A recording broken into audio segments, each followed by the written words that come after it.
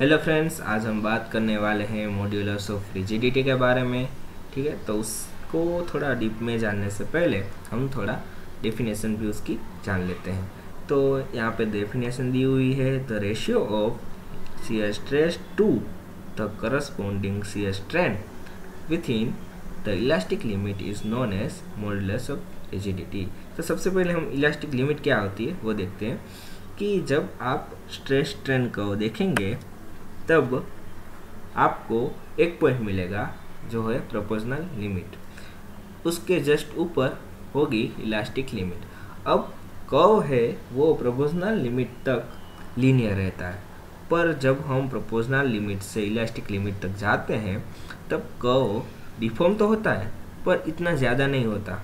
उसका जो डिफॉर्मेशन है, वो हम इग्नोर कर सकते हैं या एलिमिनेट कर सकते हैं. तो अगर वहाँ तक हम गए तो उस वाले पॉइंट को हम इलास्टिक लिमिट बोलेंगे, ठीक है? तो जनरली जो मॉड्यूलस ऑफ़ रिजिडिटी है, उसे हम सीयर मॉड्यूलस कहते हैं और उसे हम कैपिटल जी या कैपिटल एस से डिनोट कर सकते हैं। हमें पता है कि किसी भी मटेरियल में सीयर स्ट्रेन के कारण उसमें सीयर स्ट्रेस डेवलप होता है, ठीक है? तो ये जो मॉड्यूलस ऑफ़ रिजिडिटी है, वो हम सिर्फ़ इलास्टिक लिमिट तक ही मेज़र कर सकते हैं।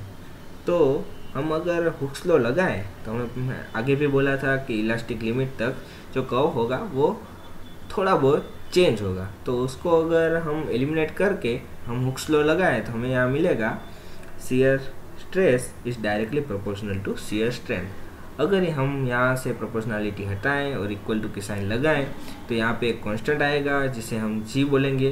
तो हम लिख सकते हैं shear stress is equal to G into gamma यानी कि शेयर स्ट्रेन ठीक है, अगर हम जी को यहाँ पे इक्वल टू के इस साइड ले आए, और यहाँ पे गामा को टाउ के नीचे ले जाएँ तो यहाँ पे हमें मिलेगा G is equal to tau by gamma यानी कि shear stress upon shear strain ठीक है तो इस वाले रेशियो को हम बोलेंगे modulus of rigidity generally modulus of rigidity होती है वो किसी भी मटेरियल की रिजिडिटी मेज़रमेंट के लिए यूज़ होता है।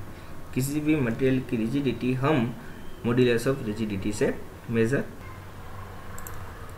हम कह सकते हैं कि किसी भी मटेरियल की अगर मॉड्यूलस ऑफ़ रिजिडिटी ज़्यादा हुई तो उस मटेरियल बहुत रिजिड होगा और अगर उसकी मॉड्यूलस ऑफ़ रिजिडिटी कम हुई तो वो मटेरियल कम रिजिड होगा। ठीक है? So thank you for watching